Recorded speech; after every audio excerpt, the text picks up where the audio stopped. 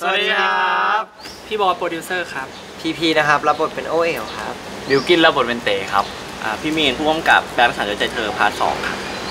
เย่่ก็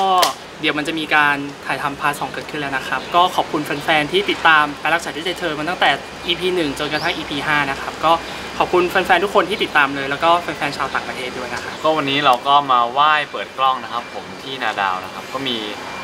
มีทั้งนักแสดงผู้กำกับ แล้วก็ทีมงานบางส่วนนะครับพี่โปรดิวเซอร์อะไรมา